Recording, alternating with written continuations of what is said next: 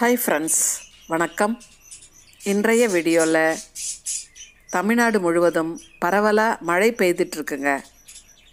அதனால் நம்ம தோட்டத்தில் உள்ள ரோஜா செடிகள் எப்படி இருக்குன்றது தான் நம்ம பார்க்க போகிறோம் அது மட்டும் இல்லைங்க இந்த மழை காலத்தில் நாம் என்ன பராமரிப்பு செய்யணும்? இந்த மழை பெய்யக்கூடிய நேரத்தில் என்ன செய்யலான்னு பார்க்கலாம்.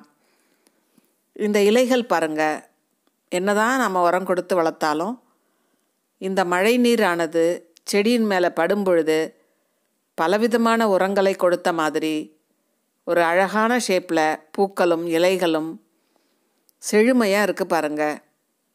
இப்படி ரோஜா செடிகள் செழிப்பாக இருக்கிறதுக்கு மழை மட்டும் காரணம் இல்லை.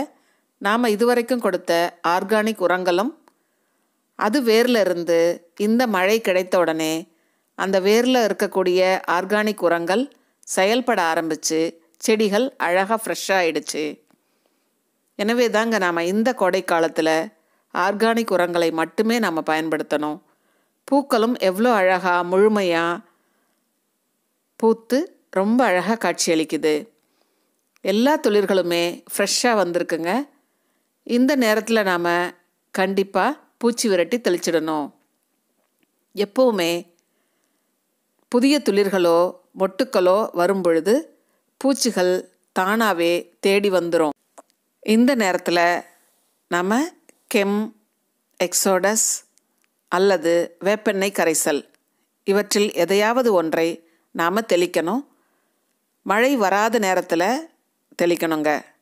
நாம் தெளித்த உடனே மழை வந்தால் அதற்குரிய பலன் இருக்காது. அதனால் நீங்கள் மழை குறைவாக இருக்கிற நேரம் தெரியும். மழை இல்லாத நேரத்தில் தெளிங்க. சாயந்தர நேரத்தில் தெளிங்க. அப்போ தான் நமக்கு எஃபெக்டிவாக இருக்கும். இப்படி ரோஜா வளர்க்கும் எல்லோருக்குமே இப்போ ரொம்ப சந்தோஷமாக இருக்கும்.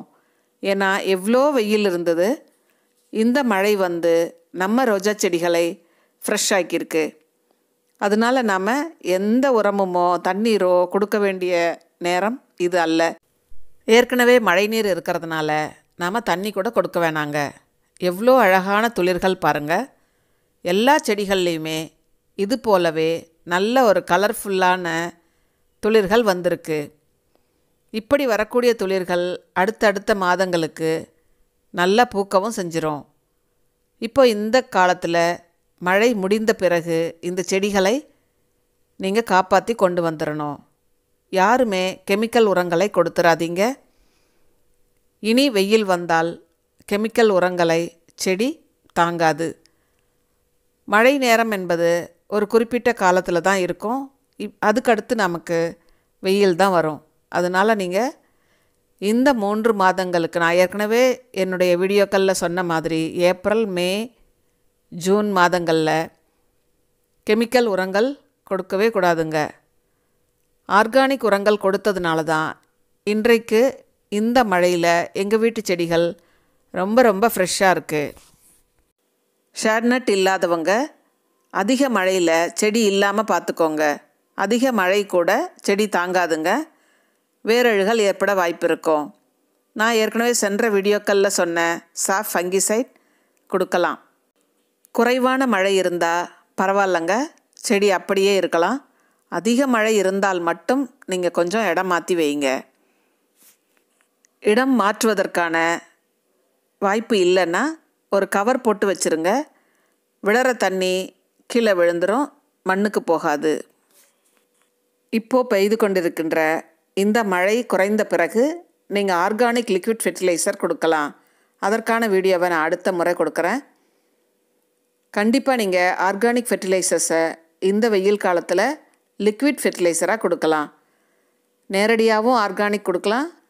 நீர் உரமாகவும் கொடுக்கலாம். அதற்கான வீடியோ அடுத்த வீடியோவாக நான் கொடுக்குறேன். அது மட்டும் இல்லைங்க மழைக்காலத்தில் நாம் நீர் உரங்கள் கொடுக்க முடியாது. அதனால் நாம் இந்த காலத்திலேயே கோடை காலத்திலேயே அதிகமான அளவில் நீர் உரங்களை கொடுத்துட்டோன்னா நீங்கள் இப்போ பார்க்குற பேசில் ஷூட்னு சொல்லக்கூடிய அடிப்பகுதியிலிருந்து வரக்கூடிய துளிர்கள் வந்துருங்க. சின்ன சின்ன துளிர்களும் நிறைய வந்திருக்கு. அடிப்பகுதியிலேருந்து வரக்கூடிய துளிர்கள் மட்டும்தாங்க நமக்கு. செடியை ஹெல்த்தியாக பார்த்துக்கும். அடுத்த அடுத்த வருடங்களில் கூட இந்த செடியை சேஃபாக பார்த்துக்கும். செடி பலமாக செழிப்பாக வளரக்கூடிய வாய்ப்பு இந்த பேஷில் ஷூட்டால் இருக்குது பேஷில் ஷூட் வந்தாலே செடி ஹெல்த்தியாக இருக்குதுன்னு அர்த்தம். இப்போ பாருங்கள் இந்த சின்ன செடியில் கூட பேஷில் ஷூட் வருது.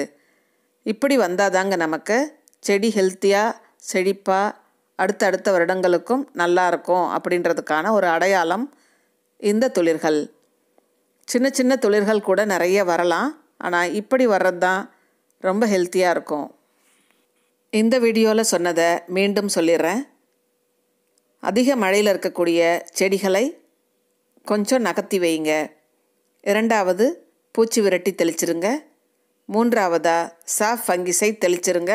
மண்ணுக்கும் கொடுத்துருங்க. மழை குறைந்த பிறகு லிக்விட் ஃபெர்டிலைசர் கொடுத்துருங்க. அது ஆர்கானிக்காக இருக்கட்டும். மண்ணுக்கும் கொடுக்கலாம் லிக்விடாகவும் கொடுக்கலாம். ஆர்கானிக் உரங்களை மட்டுமே பயன்படுத்துங்க. கண்டிப்பாக உங்கள் செடி இவ்வளோ அழகான பூக்களை கொடுத்துரும். இந்த பதிவு உங்களுக்கு பிடிச்சிருந்ததுன்னா லைக் பண்ணுங்கள் ஷேர் பண்ணுங்கள் சப்ஸ்கிரைப் பண்ணுங்கள் பசுமையை போற்றுவோம். இயற்கையோடு இணைந்து வாழ்வோம். அனைவருக்கும் நன்றி.